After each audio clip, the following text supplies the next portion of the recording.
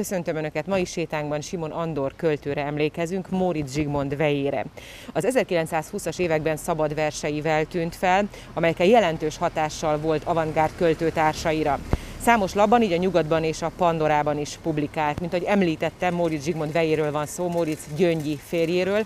Ez 1937-ben így jelent meg ez a hír egy újságcikkben. Minden külön értesítések helyett Moritz Zsigmond két lánya menyasszony. Moritz Zsigmondnak nem csak a regényei kapósak, hanem a leánya is. Az elmúlt héten egyszerre két leányának eljegyzését ünnepelték szűk családi körben. Moritz Gyöngyi, közgazdasági egyetemi hallgatót, Simon Andor költő, Moritz Lilit, a Színművészeti Akadémia növendékét pedig Bod Béla, a Miskolci Színház színésze és rendezője jegyezte el. Gyöngyi és az ismert nevű költő lelki kapcsolata már évekkel ezelőtt kezdődött, esküvő tavasszal lesz. Lili esküvőjét szilveszterkor tartják meg.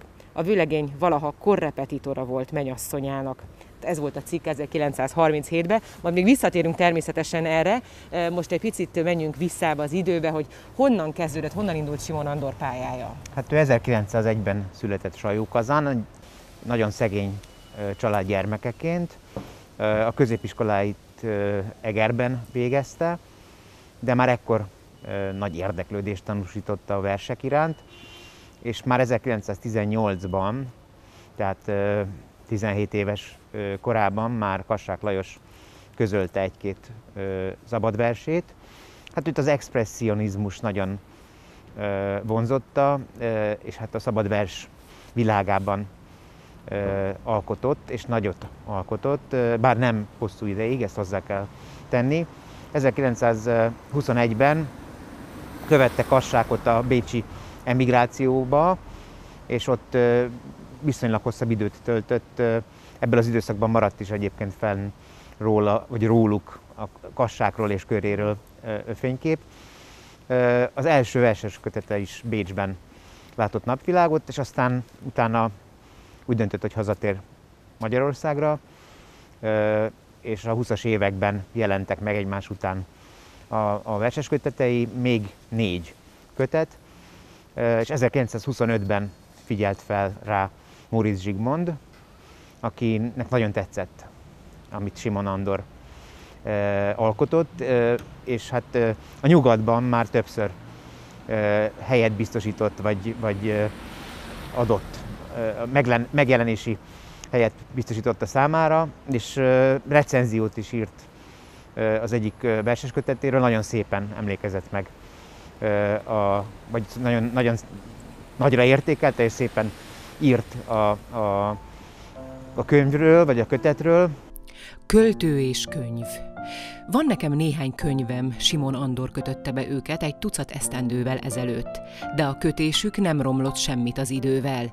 Nemesek, finomak, harmonikusak. Kis műremek mindegyik. Nem is csak a könyvkötő mester kezemunkája van bennük, de a költő szíve is, mert Simon Andor költő, ha az ifjabb nemzedékek nem tudják is. De tudta Móricz Zsigmond, aki fölfedezte s számon tartják deresebb fejű versértők. Ők örülnek most is, hogy a rádióműsorban olvashatták a nevét. Otto Ferenc zeneszerző Tűz és Mész címmel dalciklust komponált, Simon Andor Esteledik, Magasztalás, Szerelmes fiú bánata és Követelőzése című három verséből. Ezek hangzottak el az URH adásban. Simon Andorról az irodalmi lexikon azt írja, hogy szabad verseivel a 20-as években nagy feltűnést keltett. Első verses könyve éppen fél százada látott napvilágot, a legutóbbi pedig 1929-ben. A költő, aki közben oly igen szép könyveket köt, ennek az évnek végén lesz 70 éves. Költőként tulajdonképpen a 30-as évek közepetáján abba hagyta az alkotó munkát. Több oka volt ennek. Az egyik az, hogy rádöbbent, hogy, hogy azért Magyarországon ebben az időszakban nagyon nehezen lehetett megélni abból, hogy valaki verseket ír, főleg olyan formában, amit azért nem, nem a, a nagy közönség fogyasztott, mondjuk így. Tehát az ő versei fantasztikusak egyébként, de oda kell figyelni arra, amit az ember olvas, különösen szabad versek esetében. A másik ok pedig valószínűleg Móri Zsigmond, illetve hát a, a, a családba való beházasodás jelenthette, vagy a másik indokot, okot. Ő 1927-ben ismerkedett meg Móricz Gyöngyivel, és már ekkor beleszeretett, de tíz év telt el, míg aztán össze is házasodtak. Ez az újságcikk, amitből felolvastál, ez körülbelül ebből, ebből az időszakból származik. Milyen kapcsolata volt Móricz Zsigmonddal? Nagyon, nagyon, nagyon jó baráti kapcsolatban uh-huh. voltak, és hát hozzá kell tenni, hogy Móricz Gyöngyi, aki közgazdaságtudományi egyetemet végzett, öt nyelven tudott fordítani és beszélni, tehát egy nagyon művelt hölgyről van szó. A könyvkötészetet is kitanulta, és ő vette rá Simon Andort, hogy alapítsanak egy, egy könyvkötő vállalkozást, ami típus néven működött a Bródi Sándor utcai Bródi Sándor utcában, körülbelül szemben a rádió épületével, és hát ez nagyon sokáig, tehát a, az 1945-ös időszak után is dolgoztak.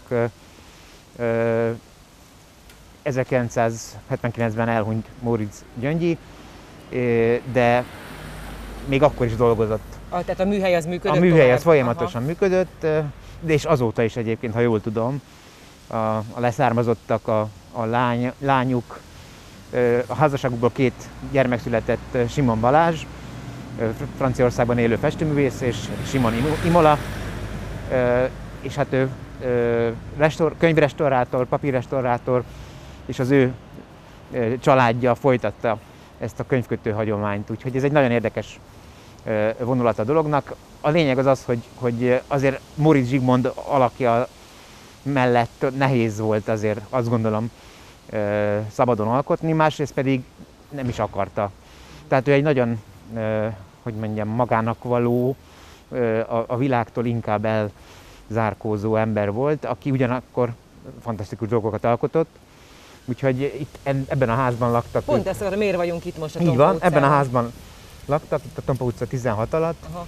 és valamikor a, a, a 90-es évek végén kapott ő emléktáblát. És oda, ez sétáljunk oda, nézzük meg az emléktáblát. Ez az emléktábla is uh-huh. Bizonyítja az ő szerénységét, visszafogottságát, tehát ha valaki erre sétál, nem igazán veszi észre. Tehát csak azt tudja, hogy itt Simon Andorról egy emléktábla látható, aki egyébként is tudja is, és meg tudja nézni közelebbről, mert még, hogy még a fényviszonyok is olyanok, hogy elég közelről kell uh, megtekinteni, hát hogy, hogy, hogy egyáltalán feltűnő, vagy elolvasható legyen az, kiről is van szó. Nem is bírom elolvasni. Hát Simon Andor költő. Igen, de itt, hogy... Álomföldet nyitott meg a, a magyar, magyar írásban. írásban. És magyar szeret... lírában, bocsánat. Lírában. Szeretnék eltűnni valahová messze, virághintő rengetegbe. rengetegbe következő adásunkban sem megyünk messzire, maradunk ugyanitt a Tompa utcában, tartsanak velünk akkor is!